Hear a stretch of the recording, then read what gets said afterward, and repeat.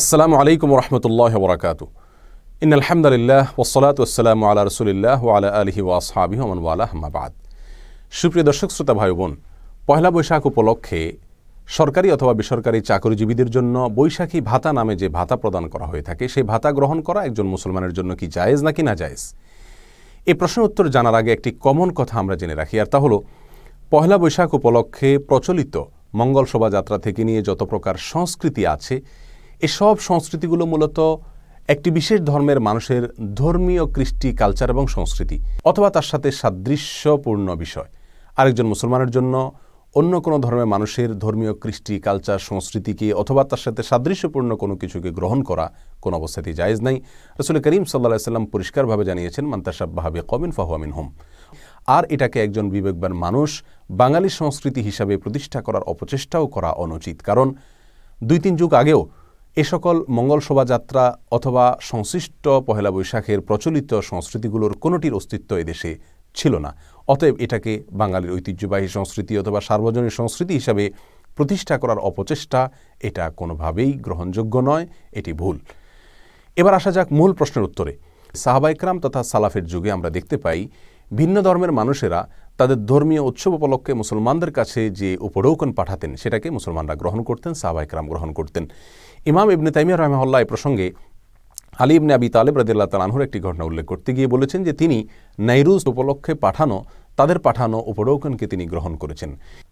ইবনু আবি সাহেবায় আম্মাদান আয়েশা রাদিল্লাহ তালা থেকে বর্ণিত হয়েছে, তার কাছে একজন মহিলা এসে জানতে চেয়েছেন যে তাদের কোনো একজন অগ্নিপূজক, দুগ্ধদানকারিণী মহিলা আছেন যিনি তার ধর্মীয় উৎসব উপলক্ষে তাদেরকে উপঢৌকন দিয়ে থাকেন, হাদিয়া পাঠিয়ে থাকেন, সেটা তিনি গ্রহণ করবেন কিনা এ প্রসঙ্গে আয়েশা রাদিল্লাহ তালাহা তাকে যে নির্দেশনা দিয়েছিলেন, তা ছিল এরকম যে তোমরা তাদের পাঠানো ফলমূল এগুলোকে গ্রহণ করবে। এই দিন উপলক্ষে তারা যে পশু জবাই করেছে, সেগুলোর গোস্ত বা খাবার ইত্যাদি গ্রহণ করবে না। কারণ তারা আল্লাহর নাম ছাড়া অন্য কারোর নামে পশু জবাই করবে, সেটাই স্বাভাবিক। আর আল্লাহর নাম ছাড়া অন্য কারোর নামে জবাইকৃত পশুর গোস্ত খাওয়া মুসলমানের জন্য জায়েজ নেই কোরআন নিষেধ আছে। এছাড়া হাবি বারজার আদাল্লাহ তালাহু নামে একজন সাহাবি ছিলেন, যার প্রতিবেশীদের অনেকেই অগ্নিপূজক এবং ভিন্ন ধর্মের অনুসারী ছিলেন। তাদের ধর্মীয় উৎসব উপলক্ষে তারা উপঢৌকন পাঠাতেন তার বাসায়। তিনি তার পরিবারকে নির্দেশ দিয়ে রেখেছিলেন যে তোমরা তাদের পাঠানো ফলমূল এগুলোকে খাবে, গ্রহণ করবে, এছাড়া অন্য কোনো কিছু গ্রহণ করবে না।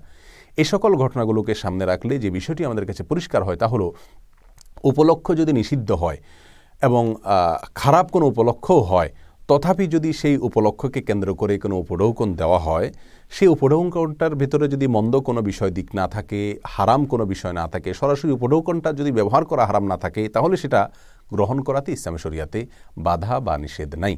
পয়লা বৈশাখ উপলক্ষে যে ভাতা দেওয়া হয় তাকে, যেহেতু সেটা নগদ অর্থ অতএব এই নগদ অর্থ এর ভিতরে সরাসরি কোনো প্রকার নিষিদ্ধ বা হারাম কোনো কিছু নাই। বিধায় এটাকে গ্রহণ করা যেতে পারে। এটাকে গ্রহণ করার পরে কোন খাতে ব্যয় করা হচ্ছে সেটা হলো সবচেয়ে বড় ব্যাপার।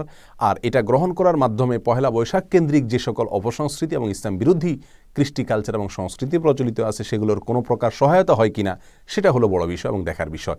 আর বলাই বাহুল্য, পহেলা বৈশাখ উপলক্ষে যে ভাতা দেওয়া হয়ে থাকে, এই ভাতা গ্রহণ করার মাধ্যমে পয়লা বৈশাখ কেন্দ্রিক যে সকল সংস্কৃতি বা ইসলাম বিরোধী কর্মকাণ্ড আছে, শির্ক এবং শির্কের সাথে সাদৃশ্যপূর্ণ কর্মকাণ্ড আছে, সেগুলোর সহায়তা কোনোভাবেই এই ভাতা গ্রহণ করার মাধ্যমে হয় না।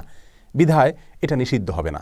শুধুমাত্র যে বিষয়টি নিশ্চিত করতে হবে গ্রহীতাকে, সেটা হলো তিনি এই ভাতার টাকা দিয়ে মঙ্গল শোভাযাত্রা বা পয়লা বৈশাখ কেন্দ্রিক যত অন্যায় অথবা সাধারণ যত অন্যায় হতে পারে, সেগুলোর কোনো কাজে তিনি এই টাকা, এই ভাতা ব্যবহার করবেন না।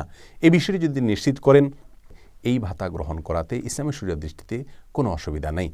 আল্লাহ সুমাতাল আমাদের সকলকে ইসলামী শরিয়াকে আমাদের জীবনের সকল ক্ষেত্রে মানা, বোঝা এবং গ্রহণ করার তৌফিক দান করুন।